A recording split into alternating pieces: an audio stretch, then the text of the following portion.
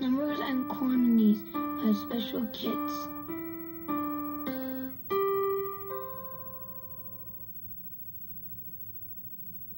Hi, my name is John and welcome to Special Kids.